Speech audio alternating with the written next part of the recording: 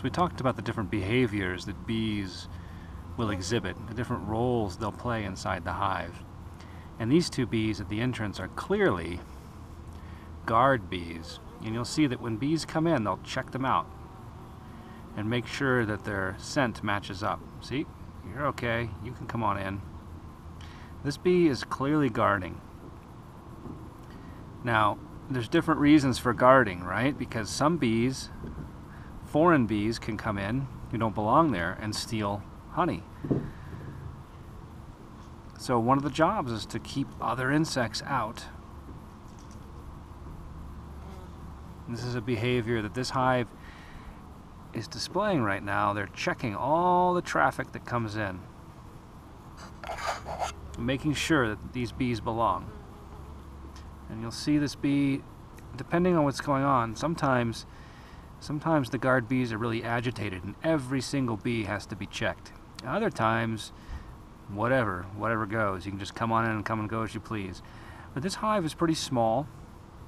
And there's a lot of larger hives around here. So this hive is going to be pretty protective of its entrance to make sure that no one, uh, no one comes in who's not supposed to be there. If we watch, maybe we'll see some more behavior. It's interesting, even in the animal kingdom, in the, in the insect world, there is kind of body language. And when a bee comes in, you'll see the guard bee very directly either get in their way or chase them down and make sure that they belong there. Here comes somebody. I don't think this bee belongs in this hive. Yep, see? Chasing him away. Look at that.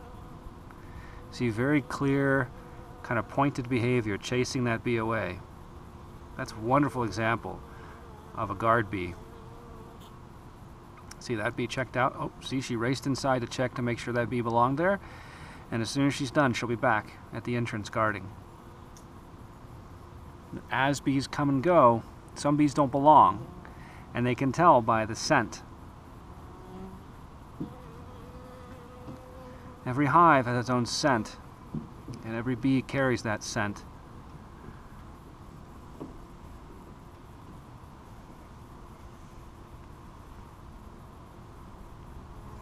Here comes a bee. Let's see if she belongs. Yep, she passed the test.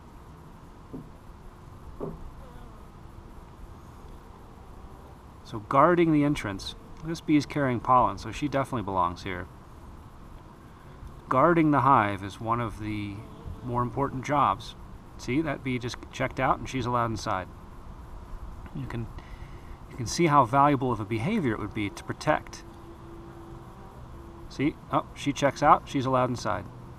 How valuable of a behavior it would be to protect who's allowed inside and who's not.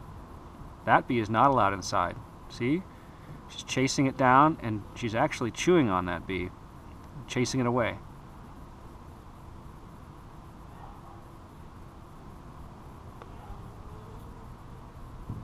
This is a very defensive hive right now. Every bee coming and going is getting examined.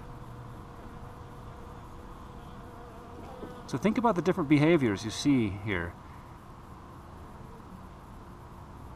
It's kind of like an exclusive club inside there and only only the bees members are allowed inside.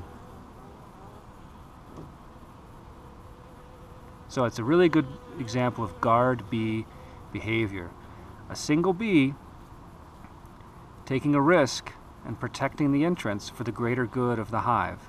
It's a very dangerous job she has there. But it's very important for the overall survival of her sisters and the queen.